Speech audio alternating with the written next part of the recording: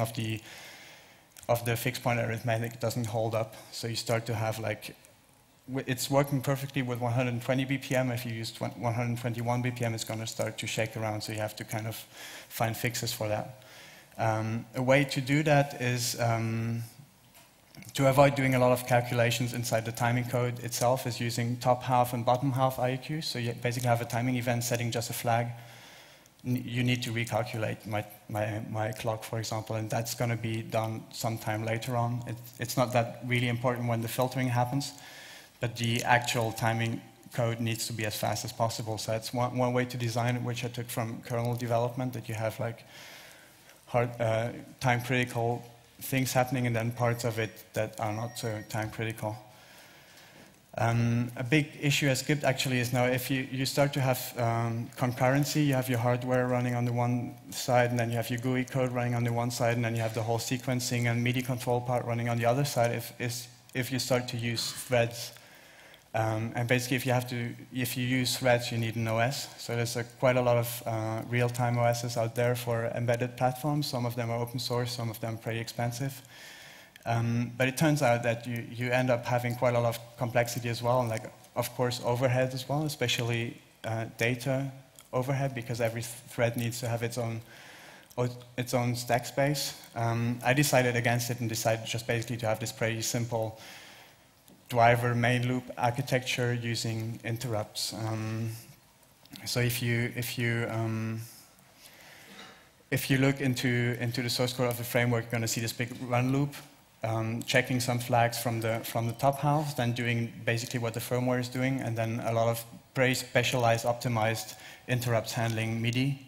Like incoming MIDI bytes are just stored in the ring buffer and then parsed later on, but MIDI clock bytes are, are are um, acted upon immediately. Then you have I.O. polling, um, which is taking place in an interrupt as well.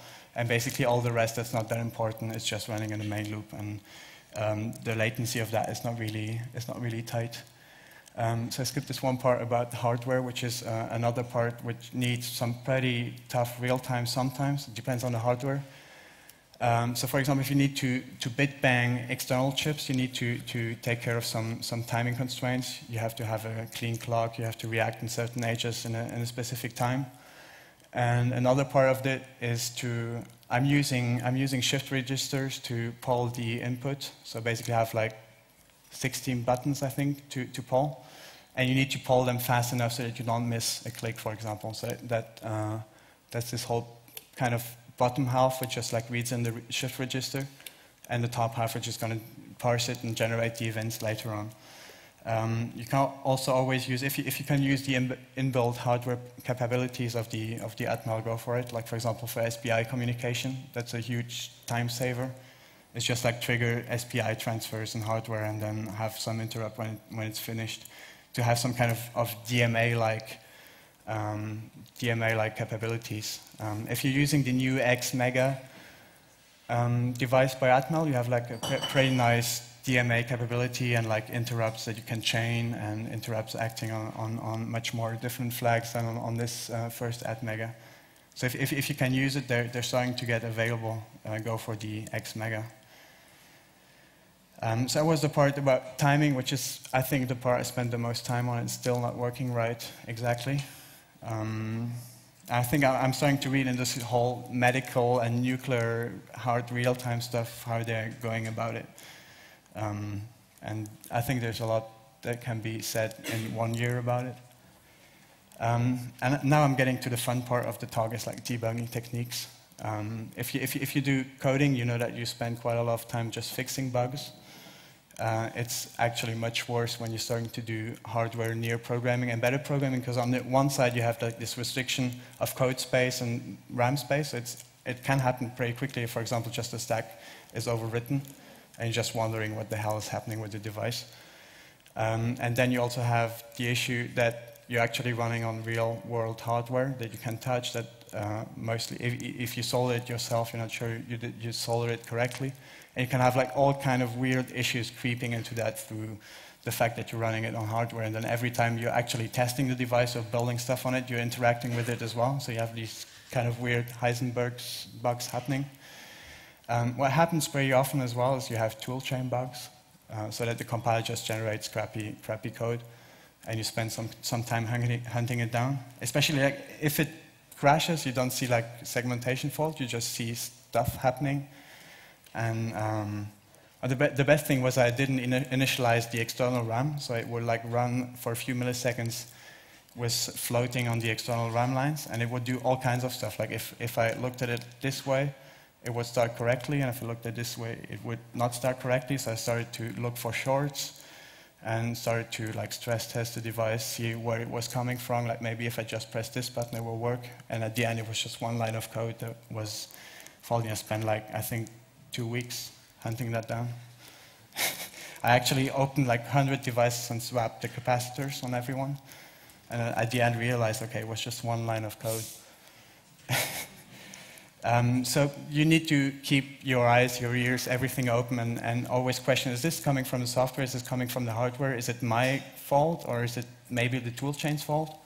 Often it's your fault, but uh, often it bites you in the head, like you're, you're, searching for something, and like three days later you see, okay, it's not working with GCC 4.2, and I need to use GCC 4.2.1.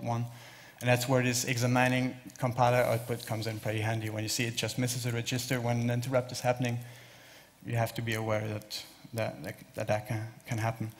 So uh, of the tools you can use to debug the whole thing, I think the most useful is actually your oscilloscope, even if you're working with code, because you can just like see what the code is actually doing.